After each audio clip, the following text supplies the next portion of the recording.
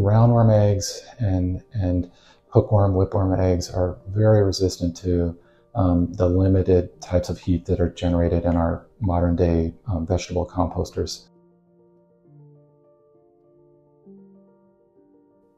Hi, my name is Jake Searle. I'm a veterinarian at Meridian Street Vet.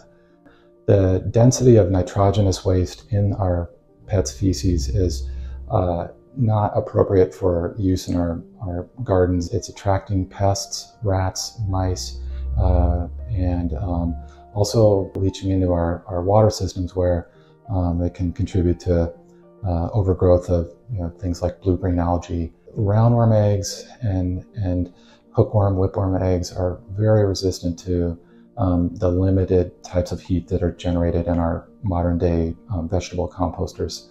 The processes of um, composting that we do is not sufficient to uh, eliminate those pathogens.